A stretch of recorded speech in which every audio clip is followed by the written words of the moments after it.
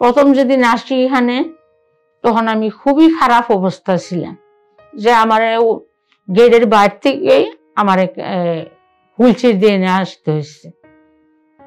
পা মাটিতে দিতে পারতাম না। কান্নাকাটি করতাম, বিছানায় বসে খানা দানা করতাম। পায়ের উপরে চাপ দিয়ে টেবিলে যাইতে পারি নাই।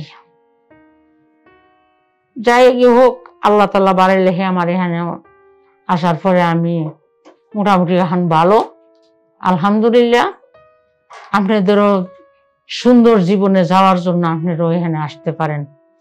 আসসালামু আলাইকুম। আমার নাম রুকিয়া বেগম। আমি উত্তরা থেকে আসছি। আমার বয়স পঞ্চান্ন বছর। আমি একজন গৃহিণী। তো আমি অনেক বছর যাবৎ এই সমস্যায় ভুগতেছি। কোনো কোনোখানেই ভালো কোনো ট্রিটমেন্ট পাই নাই। আমার সমস্যা ছিল, আমার পাগুলো ফুলে যেত। বেশ কিছুদিন ধরে কোনো কোনো সময়তে দেখা গেছে যে পুরো ফুল বডি ফুলে যেত অনেক অনেক অর্থোপেডিক ডাক্তারের কাছে গেলাম। কিছুই বুঝি না। লাস্টে যাওয়ার পরে দিল অপারেশন আমি অপারেশনে রাজি হই নাই। রাজি হই নাই, ওখান থেকে আয়সা বললাম তো ওনার তিন মাসের টাইম দিছিল।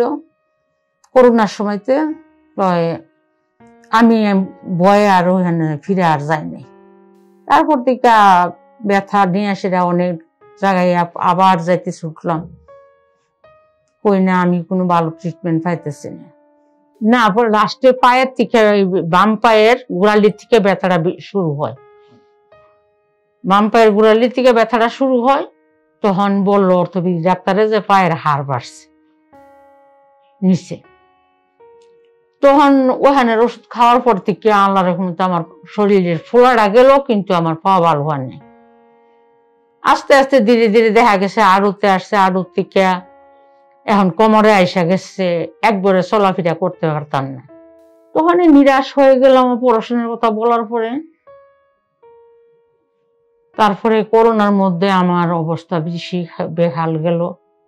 মনে মনে ভাবতাম যে আমি মনে মনে হয় আর কোনোদিন সুস্থ হব না, সুস্থ জীবন আমি যেতে পারব না। নিরাশ হয়ে গেলাম।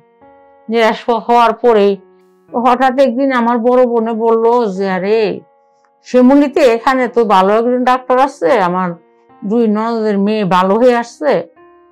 এখানে দেখো। তখন আমার ছেলে ইউটিউবের সার্চ দিল পরে ঠিকই হ্যাঁ ওনার নাম বেরিয়ে আসছে ওনার যাবতীয় বিষয় জানতে পারছে। জানার পরে আমার এখানে নিয়ে আসছে। আমি আসছি আজকে আট দিন। তার মধ্যে আল্লাহ রহমতে আমার আরও বিভিন্ন আদার্স কিছু সমস্যা ছিল, ওইগুলো এই ট্রিটমেন্টে আমি উপকার পাইছি ওইগুলো সমস্যাগুলো আমার কাটতে গেছে তার।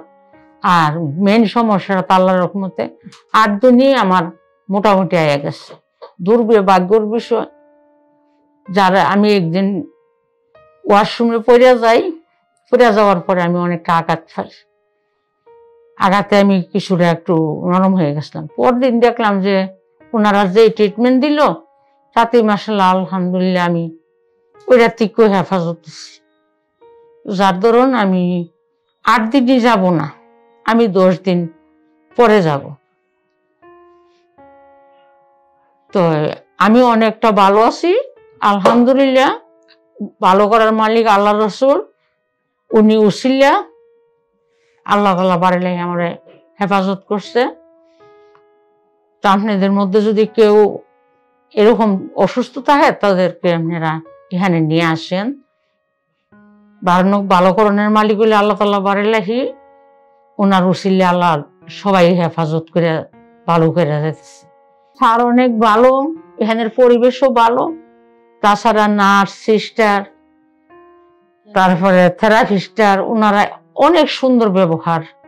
ওনার ওনাদের ব্যবহারও আমি অনেক খুশি, অনেক কি বলব, ওদের বাসায় প্রকাশ করার মতো না, ওদের এত সেবা।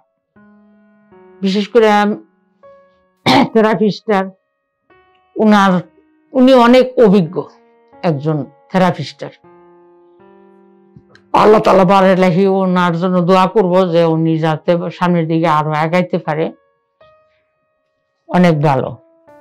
না, আমার আশেপাশে এরকম কেউ নাই। আমি বললাম যে না, যে ওই যে আমার বোন আজকে বারো তেরো বছর। যদি এখানের এখানে নিয়ে আসতাম, সামান্য একটু ব্যথা পাইছিল খাটেতে ফিরে গেছিল। সাথে সাথে যদি ট্রিটমেন্টটা করতে পারতাম তাইলে অবশ্যই বোন হাইটটা বেড়ায় দুনিয়াতে যাইতে পারতো। এবাদত বন্দিগি করতে পারত। উনি এখন মুহূর্ষ অবস্থায় আছে। এখন আর আনার কোনো ইয়া নাই, উপায় নেই। তো এটা আমি আমি যখন ভালো হয়েছি যে আমার বোনের জন্য অনেক আমার আফসোস হইতেছে, কষ্ট হইতেছে। আসসালামু আলাইকুম। আমরা জানি আপনার প্রিয়জন আপনার জন্য কতটা গুরুত্ব বহন করে। প্রপার ডায়াগনোসিস কনসালটেশন পেইন ও প্যারালাইসিস চিকিৎসা পুনর্বাসন আমাদের সব আয়োজনই সবসময় আপনাদের জন্য চব্বিশ ঘণ্টা খোলা। আমরা চাই না আপনারা বারবার আমাদের কাছে ফিরে আসুন তবুও আমরা আছি সব সময় সর্বদা আপনাদের পাশেই। ডিপিআরসি হসপিটাল লিমিটেড আস্থা বিশ্বাস ও নির্ভরতায় অবিচল।